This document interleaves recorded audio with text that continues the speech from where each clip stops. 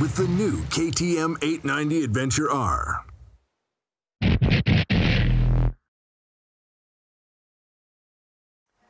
Pit, year seven for KTM in MotoGP. Uh, last year, second in the team's championship, uh, a win for the last four seasons in a row. Overall, how do you feel about KTM's involvement in MotoGP and how it's going? Uh, yeah, I would say time flies by. It's crazy that now it's already, yeah, we are going into season number seven, but I feel uh, the six years they were, they were amazing because like just building up this project and, and bring it to that level and have now uh, already these wins in the in the pocket. Um, it it was a it was a crazy journey, and uh, we enjoyed it a lot. And uh, but of course, yeah, now it's not not the time anymore to say we are the young, the youngsters, we are new. No, we are there, we are established, and uh, of course now the pressure comes up because we also have to de deliver the results. So it's not good enough anymore just to be there and and be a cool, organized team and everything no, we need results. So uh, somehow I feel the pressure is on, but but the first six years have been uh, really really cool and amazing, and we really enjoyed to be in this in this MotoGP uh, paddock. In 2023, Red Bull KTM Factory Racing has a promising rider lineup. Um, Brad Binder, does does he seem to encapsulate some of the KTM spirit? I mean, the way he races, the way he is.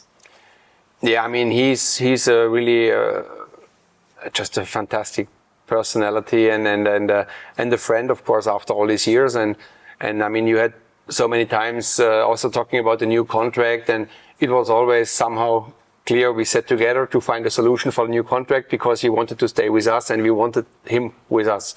Um, to see this whole development from this very small kid with a dream from South Africa, and now, uh, yeah, being our top factory rider in, in the MotoGP class is, is also nice as a, as a, yeah, as being so close to that guy. And he brings some super good spirit to the team because he's a fighter and uh, MotoGP is never easy for nobody.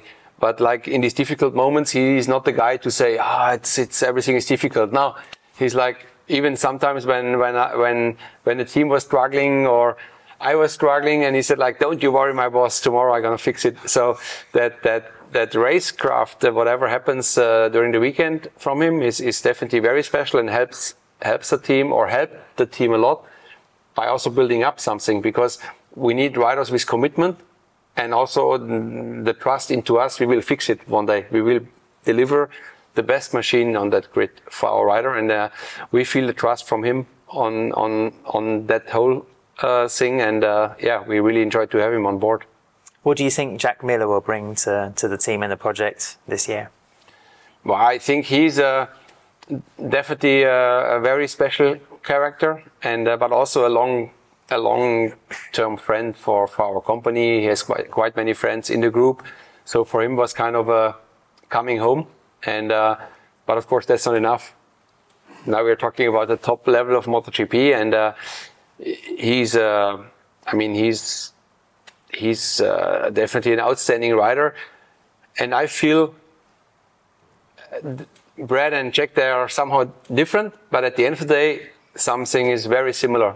They are pushing very hard, and uh, I mean that's exactly what we need. Uh, and and I think Jack will bring a very also a very positive fighting spirit into the team, and uh, but I feel I feel somehow we are complete. These these two boys are fitting very well together, and uh, yeah, we need now we need to to prove that we can be uh, stable there in the front uh, in the front region, and I, I feel that also Brad needs this kind of partner who is not giving up, who is always ready to to push and also squeeze something out of a difficult day. Uh, because yeah, I'm repeating these difficult moments and days. Everybody has it in in, in MotoGP, and uh, but I feel super confident with the two boys we have on board now. Pit, with MotoGP being so tight and close, uh, how important is the test team and test program now?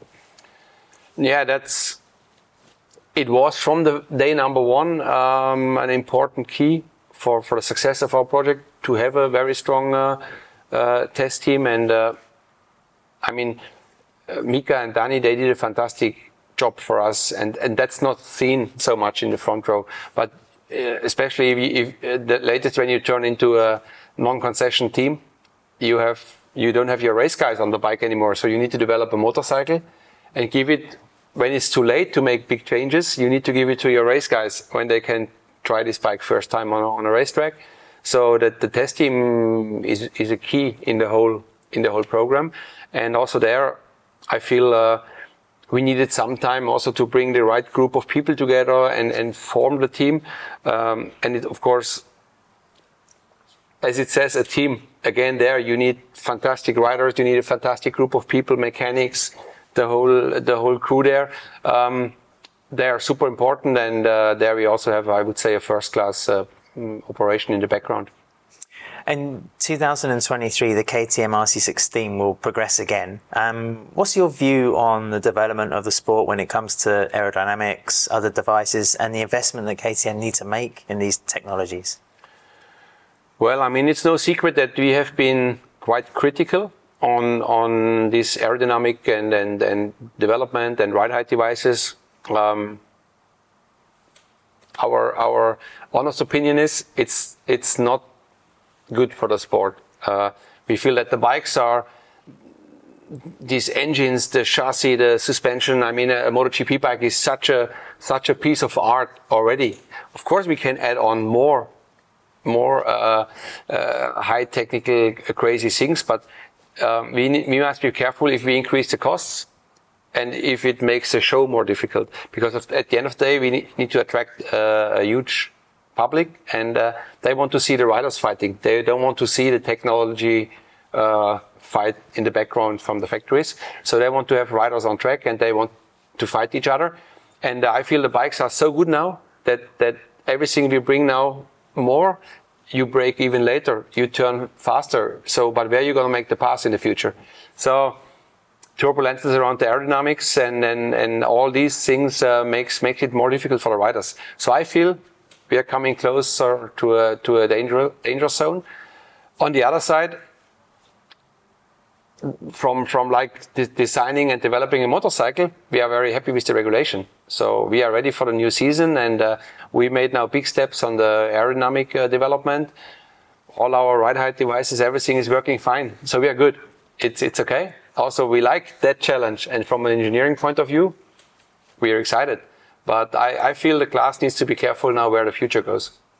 But is it also a positive thing that you can bring new engineers, new ideas, uh, new alliances, like with the Red Bull KTM, yep, uh, Red, Bull, Red Bull Formula One team, in fact, to the project? Are those things that also increase not the motivation, but the, the interest around MotoGP and the company?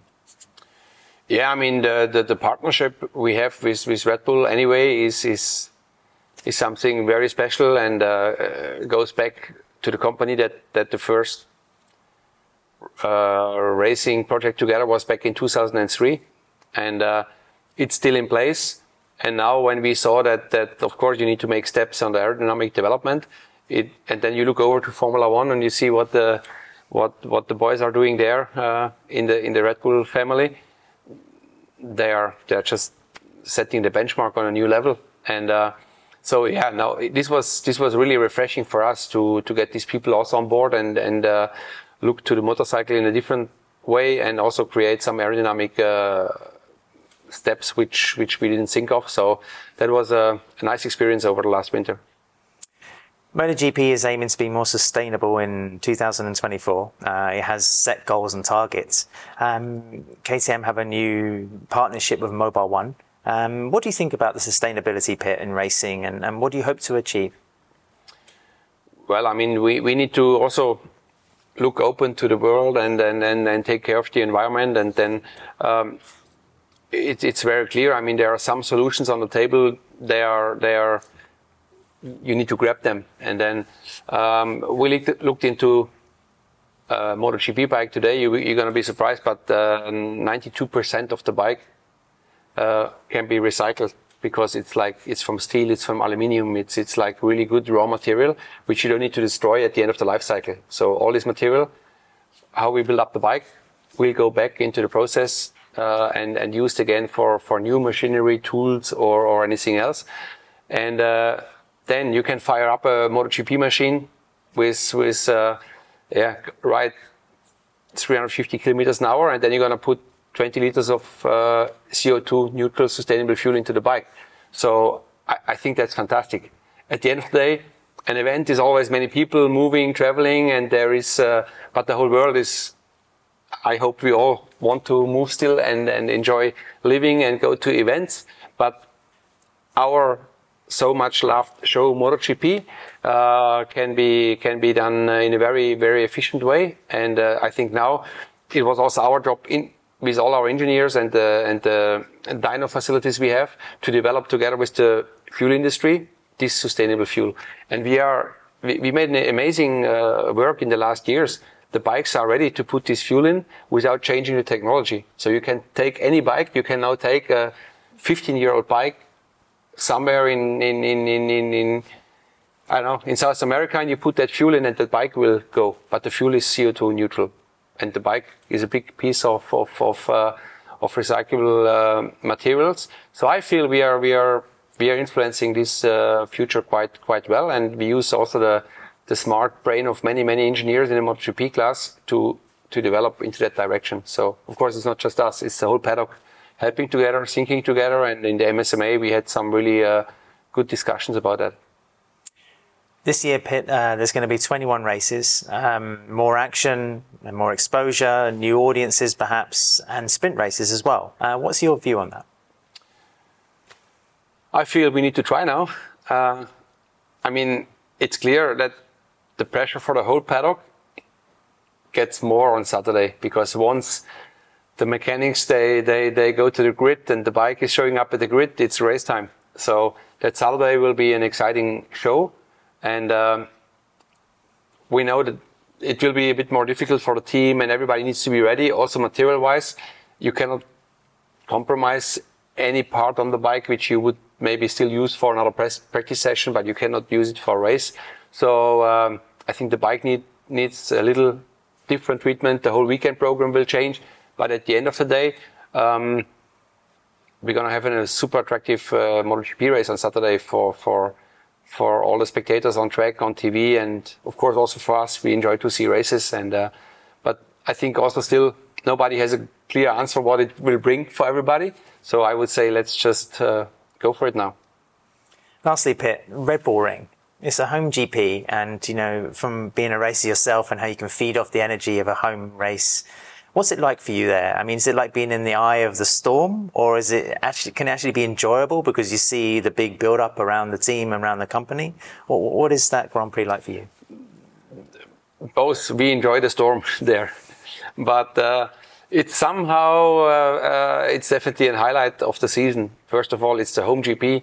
We bring so many people from the company, so we have basically all our friends and, and employees with us on the racetrack uh, same thing from the Red Bull side. So, so everything we are uh, in, in, in racing feels like is there. And then, of course, on the home GP, you want to, to bring a result. And uh, yeah, when you when you watch by the whole company live, because they all watch us on TV the whole year, but then we are there together with with the home uh, home crowd, spectators. It's a very special event. It's it's, but also, I mean. Uh, they deserved also to be to be the organizer of the year. I think it's uh, definitely one of the nicest GPs also every year. Having this in our home country, it's it's fantastic, and every year we look forward to to uh, Spielberg.